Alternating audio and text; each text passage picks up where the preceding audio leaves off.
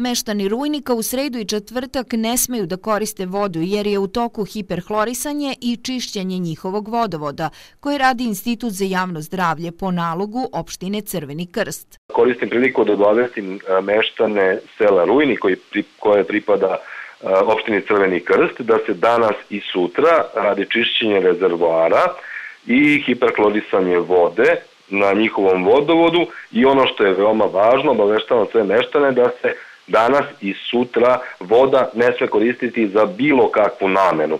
Voda će moći da se koristi, ali samo u tehničke svrhe, odnosno za tehničku namenu od petka 31. oktobra. U Institutu za javno zdravlje kažu da je Rujnik jedno od pet sela u opštini gde će se obaviti ovaj proces i da je važno da se svi pridržavaju uputstava. Iz Instituta za javno zdravlje posebno upozoravaju meštane da ne koriste instalacije u kućama za vodu iz bunara, jer će time da poremete ceo proces.